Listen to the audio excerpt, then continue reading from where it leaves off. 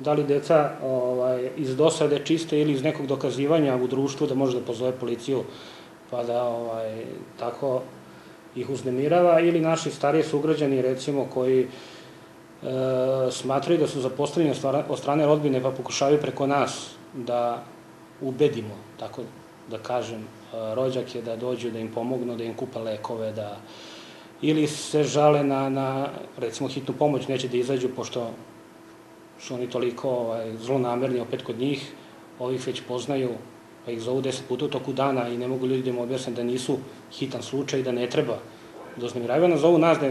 mi pomognemo da naložimo hitnoj pomoći da dođu da im ukažu pomoć. Naravno, to, tu su i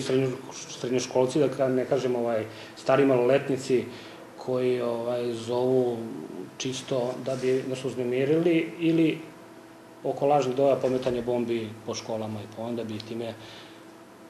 prekinuli rad škole na kraći period, možda izbegli neki kontrolni zadatak, ispitivanje ili već zašto zovu.